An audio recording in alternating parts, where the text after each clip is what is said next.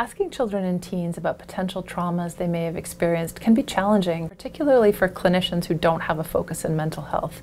But we know that these adverse childhood experiences are prevalent and significantly impact lifelong health. So it's essential that all pediatric healthcare providers feel comfortable and competent to do a routine screen for these adverse childhood experiences. In the previous video, we saw demonstrated how a clinician can use the ACE screening questionnaire to interview a parent and determine a child's ACE score.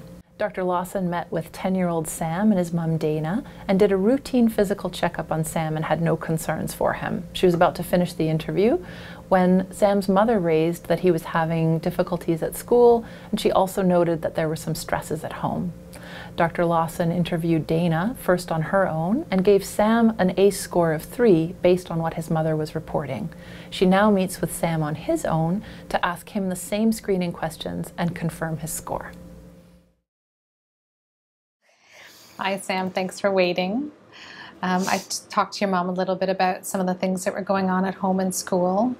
And now I'm going to spend a few minutes with you asking you um, some questions. The questions I ask all the kids. Some of them are going to kind of fit for you, and some of them might not fit so well.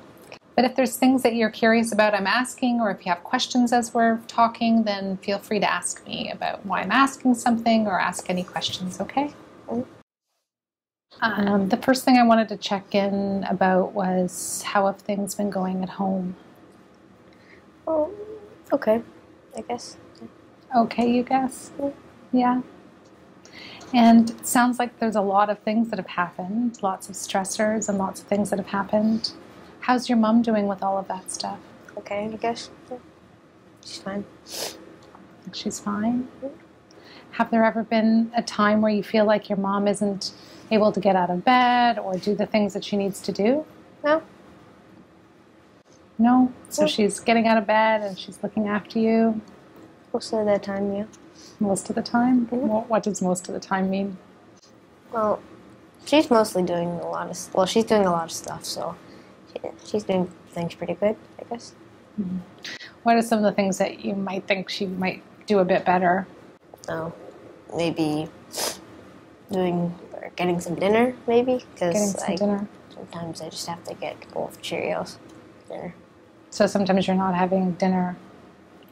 You're having Cheerios for dinner. hmm How many times a week would you say that that's happening, that you're having Cheerios for dinner? Pretty much every day. Pretty much every day? And is your mom having Cheerios with you, or are you on your own having Cheerios? What's your No, mom doing? Mainly by myself. You're by yourself having Cheerios. And when you go to your fridge and you open it up, or is there food in your fridge? If you ever had a time where there hasn't been enough food in your fridge, No, not really. so there's food in your fridge, Unless I ate too much. unless you ate too much. Okay. And have you been worried about having food? Has that ever been a concern of yours? Hmm. It's getting pretty cold outside. Do you have a, a coat and winter boots and things to make sure you're all set for the winter? No. My mom keeps saying that we might go to the mall or go shopping for one, but we, we never end up doing it because she's too busy with other hmm. things. So, how's your mama doing? Okay, I guess. Pretty good. Yeah. Are there ever any times that she seems down or upset for days at a time? That she hasn't been getting out of bed or that she seems to be having a really tough time? She might be a little bit stressed because of grandma. Can you tell me more about what you mean by a little bit stressed? Well, they've been arguing and yelling a lot. So, Who has grandma and mom? yeah. You've been arguing and yelling. hmm Can you tell me a little bit more about that?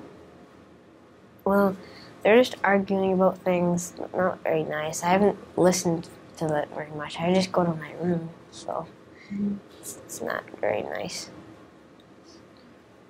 And when they argue and yell, have there ever been times that you've been afraid that someone might get hurt? Mm, once, maybe. Once. Can you tell me a bit about that time? Well, they're just getting really mean, like more than they usually would, because it's happening quite a bit now. But it wasn't wasn't too bad, I guess. So the fighting between your grandma and your mom, how intense does it get? Is it arguing or is it yelling and screaming? And when they argue and yell, have there been times when anybody's um, been physical, used their fists or hands? No. Any other way that they may have physically been fighting? No. No. What about throwing objects or No. no? And what happens to you when they're fighting? Where are you? I just go to my room and try to ignore it. Yeah, So you're going to your room and you're ignoring it. And kind of what happens afterwards? Well, they kind of just stay away from each other for a while. Okay, stay away from each other. So when they're fighting, it's what what I'm hearing is it's words that they're not physically hurting each other, and it gets pretty scary. Yeah. when people talk to you, um, has have has anyone said mean things or hurtful things to you? Well, sometimes my grandma's criticizing me a little bit. Like she'll tell me I'm not doing something right, but then won't help me with it. Like won't explain it. So you're feeling criticized by grandma. What about mom? Has she ever said mean or hurtful things to you? Not um, Sam, has anybody touched your body in an inappropriate way or a way that you didn't like? hmm, what do you mean? Has anyone touched your private parts or touched you in a sexual way? No. Sam, does anybody in your house ever hit or spank you? No. Hmm. What about hurting your body? Has anyone hurt your body? No. And so when I say hurt, I mean things like hitting, kicking, punching, scratching. No. So no one's hurt you sexually or, or physically. No. With anyone in your house, has anyone been drinking or you ever been worried about people drinking too much or getting drunk or Mm-mm. no? What about other drugs? No. No? So you don't have any worries about your parents using drugs or alcohol? No. What about grandma? Anybody else in your family that you're worried about in that way? No. So, Sam, how do you feel in your close relationships? Do you feel loved and cared about and special? Mm. Hmm, you're shrugging. What's what's that mean? Well, my mom pays more attention to my little brother. And, and then when I try to talk to my mom if I want something, she won't really, like, she won't really listen that well. She just kind of keep doing what she's doing. And then might later ask me again, what did you want? Not a lot though, really at any time. She do that. So you're not feeling loved. Is there any place in your life with any adults or with anyone that you're feeling loved? I like to be in my room. I don't really have anyone else now. So if you had a problem or you were hurt in some way or something was happening, who would you go to for help or what would you do? I wouldn't have anybody. I'd just go to my room and think. I like I just like being in my room sometimes. And is anybody uh, in your family ever been in, in jail or in prison? No. So the stressors in your house and what's going on making your mom not be there for you as much. What are what do you think are some of those stressful things? Well, probably because my grandma's fighting with her a lot, and also my dad moving away because they were divorced That's right. Your mom ago.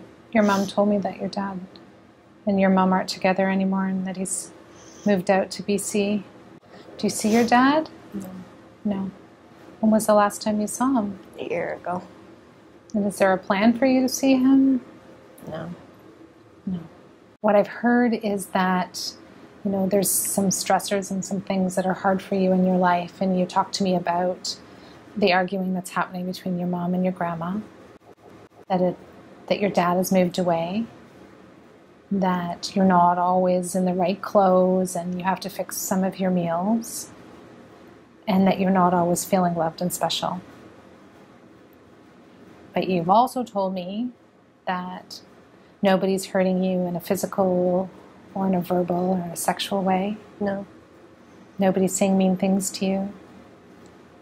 That you're not worried about your mom emotionally and that she's not worried about her all the time, struggling or emotionally. Mm-mm. And that Nobody you know is in prison or has mm-hmm. been in prison? No. And you don't have any concerns about drugs or drinking or in your home? Sam, do you think some of those stressors are what's making it hard for you at school? I think so. Probably, yeah. Yeah. Why do you think that might be? Maybe because I'm thinking about that, and then I'm not eh, like thinking about what I'm doing at the moment, and then I don't get very much. I don't get a lot done. Yeah, that makes a lot of sense, Sam, that when things are stressful at home that kids have trouble concentrating and it affects them at school.